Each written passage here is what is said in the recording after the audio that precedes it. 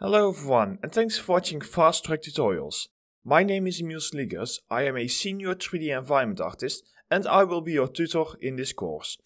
In this absolutely massive course we will go over on how to create a large scale game environment from start to finish.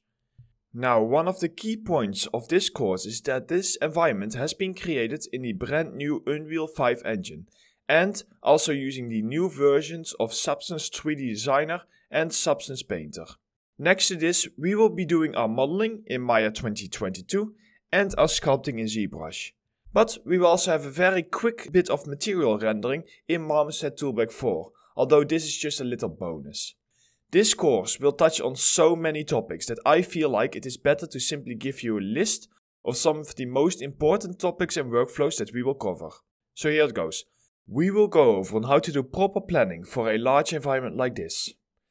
We will then go over on how to create a blockout scene that uses modular modeling workflows. We will also go over everything from basic modeling in Maya to UV unwrapping to optimizations and much more. And we will go over on how to utilize weighted normals to get a high poly feel without baking.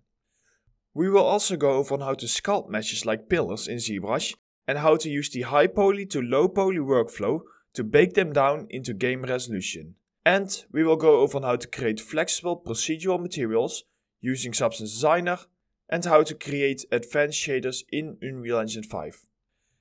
We will then go over on how to paint masks in Substance Painter that will go along with the Unreal Engine 5 shaders that we have created. Next to this, we will also cover general level art in Unreal Engine 5 including object placement, landscape creation, foliage painting, composition, and so much more. And I will show you how to use the new Unreal Engine 5 Lumen system for our lighting and post effects. Next to this, we will also cover how to set up optimizations like level of details and texture streaming. And finally, I will show you how to use the integrated Quixel bridge to add some quick extra props like statues to really push our scene to the next level. In general, we will cover every single thing that you need to know to create an environment like you see in the images here. This tutorial is almost entirely in real time, except for some very repetitive functions. We timelapse those. However, due to popular request, I have also included those timelapse chapters as an untimelapse version, as like a little bonus. With a grand total of 32 plus hours of content, I am sure that there is something useful in here for everyone.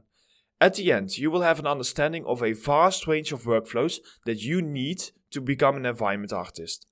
Due to the scale and difficulty of this environment, I do recommend that you already have a basic understanding of the programs mentioned. Now I will leave it off here. I really hope that you are excited for this tutorial course and I hope to see you soon.